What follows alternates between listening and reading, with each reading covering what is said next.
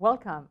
I'm Catherine Paquet, and we will talk in this recording about the ESA system administration. So what we're seeing now is actually a slide of the different menus you will have with the ESA in the GUI environment. You will notice actually five different specific topics. Let's start looking at those topics starting from the left. The most left menu that you have is called Monitor.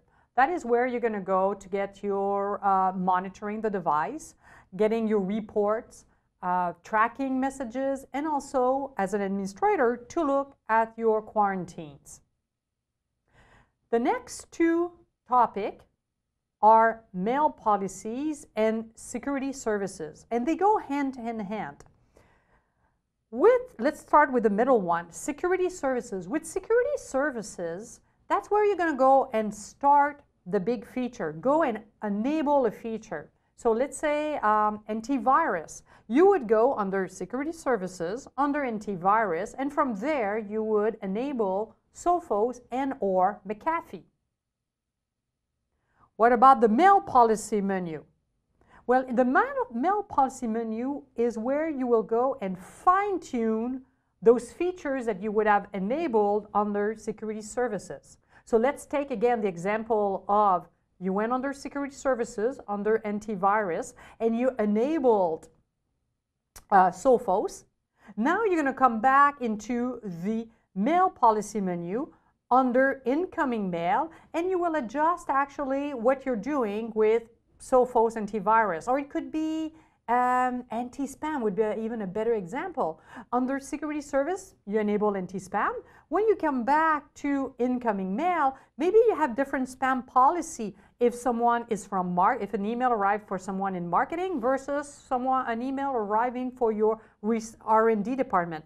Maybe for marketing, you want them to get every single piece of email, whether it's gray mail, whether it's market, uh, uh, uh, marketing mail is gray mail, or whether it's spam, your marketing people wants to get the email. Where with the research department, well, you will make a rule that, well, anti-spam, we will actually drop positive spam for our R&D department. So under mail policy, that's where you're going to go and fine tune actually those rules. What are the two last menus we have on the most right? We will have the network menu. That's where you're going to go and um, give IP addresses to your interface, uh, set up your DNS server, set up routing. And on the most right, this is the system administration. You're going to go and um, use the um, trace tool, which is to simulate sending an email. More on that coming up. We will also use our system administrator administration menu for log services, feature keys, upgrade, etc. So, talking about the system administration menu, uh, that's where we're going to go and start, start and stop some services, processes. We can also go and manage our users. About users. So the term users that is being used in the menu, they actually mean your administrator. Okay? So if you want to go and say who can administer your ESA, that is under user. System setup. So if we wish maybe to run the uh, wizard again on that box. And finally, what's the software version if we need to upgrade and the license key that we have.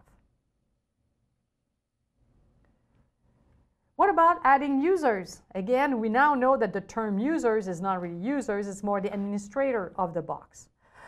There are actually, when you go under system administration, under user, there are actually multiple roles that already exist. So here we have one administration administrator. We would like to add actually one more administrator. And you can go and actually create your own um, either you can use can role that already exists or you could create your own role. So the role that already exists, such as uh, administrator, well, that's the almighty of the box, can do anything it wants inside the box. Or you would have the read only operator. That's someone who can read, but as actually uh, writing and creating new administrator, you would not have that capability. And you could go if you want and, re- and create your own user role. So you could maybe and create a new user role that you would call uh, data loss prevention. So I want to create actually something that I will call data loss prevention HR. Later on, we will teach you that uh, you can ask your ESA if it sees that there's a data loss violation to send a copy of that email to HR department for review, as an example. Well, maybe you want the person from HR to uh, have some, uh, for DLP, you would like the person in HR to be able to log inside the ESA to do some DLP adjustment. So we say, yeah, we would like actually, when it's the topic of DLP, if your role belongs to the DLP HR, you have the role, you have the right to adjust the DLP policies. On the system administration menu, this is also where you can keep a backup, make a backup of your ESA configuration file. The ESA configuration file is in XML format. Now, tip of the trade here is you'll see one of the topic here, one of the radio button is actually by default when you are saving a copy of your configuration file, it will save it mask. Now the problem when you have a mask passphrase is that that passcode, that password has been hashed. And if you try to do a RMA, install a new box and copy the previous ESA's configuration in that new box, you will have a problem because the hash, which is a salted hash, will not be able to be understood. So the passcode actually will not be in clear text, will be hashed. And even though you type in the right password, the hash that was stored when you copied the, the file is not, uh, it does not match with the new hash process.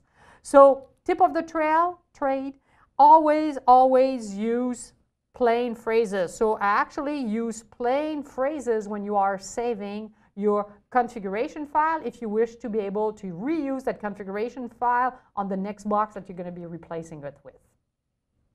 When it's time to update upgrade your box and update your box, uh, the box will go and actually talk directly to Cisco uh, uh, update server to get the latest updates.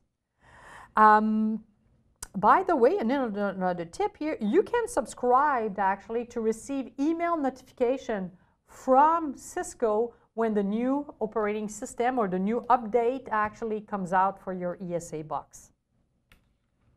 But what about if in your organization actually uh, you cannot have, you don't give permission of your ESA to go talk directly to the internet? In this case, you can actually stage locally uh, inside your network, go and download your update and have your ESA stage locally their update.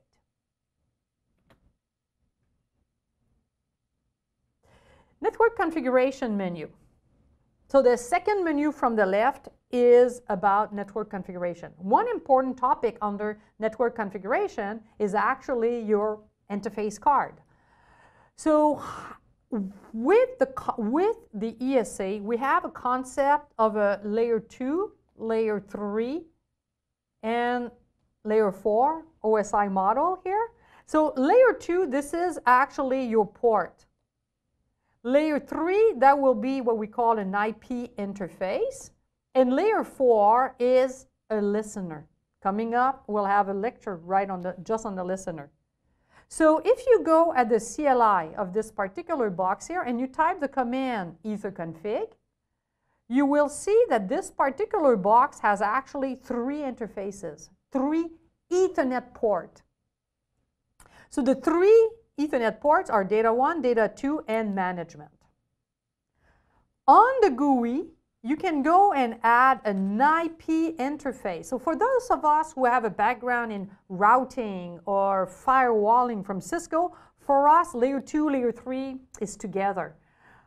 But not here. With the ESA, really, we have the port, which is layer 2, and then we have the IP interface. And the IP interface, we have an example here. I want to create a new IP interface, and the IP interface is responsible of the IP address. So we'll create actually an IP interface that I want to call inside corp.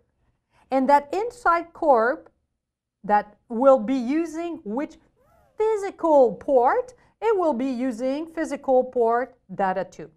So over here I have my layer 2 of the USI model and my IP address, my layer 3, is listed and that layer 3 we refer to it as a IP interface. Therefore, when I go back under my network menu and I look at my interface, I have my inside interface and my public interface. And those are IP interface. What behind those in terms of port? Well, I just configured actually my inside interface. It's using data 2. And I presume that my public facing interface is probably using data 1. I should probably also have maybe a management interface here. So we had at layer 2, we had a port. On that port, we have just installed actually a, an IP interface. And the IP interface, we called it actually corp. Um, can't remember how I called it, the previous slide, inside corp. So we have actually an IP interface and we called it inside corp. Now, I'd like that inside corp interface to start listening on its port 25. So to do that, we're going to go under listener. And we're going to add a listener. And my listener will be actually an outbound mail. Hmm. On my ESA, I have my ESA, I have actually, I've just configured data 2 and I called it inside corp. And I also have my data one here, and my data one faces the internet. So on, mm, this is my Exchange server as an example. Well, that data two interface, which is the data two interface, that's the layer 2, the port, which has an IP address, is my inside. It's now with, at layer 3, it's now called inside corp and it's got an IP address associated with it. And on top of that is now at layer 4. At layer 4, I would like it to start listening on port 25. So to have this guy listening on port 25, we're going to go and turn on a listener. So we're going to go and actually the listener I'm going to be creating if, I'm, if I would like to do my outbound mail. So if that would be really my outbound mail, it would be a private listener, not a public listener. That would be a private listener. It would be using my inside corp and it is listening on port 25. And at the end, I would have actually this. I would have my inbound mail listener listening on port 25. And uh, it should, my inbound mail listening on port 25 is pointing to the public. And that would be using actually data one. And my outbound mail would be using the, so this is my layer four. This is my layer three and my layer two. This one would be using data two over here. Thank you for attending this recording regarding the ESA administration. And more precisely, we saw the different menus that we have in the GUI. And we spent a little bit more time discussing the network menu.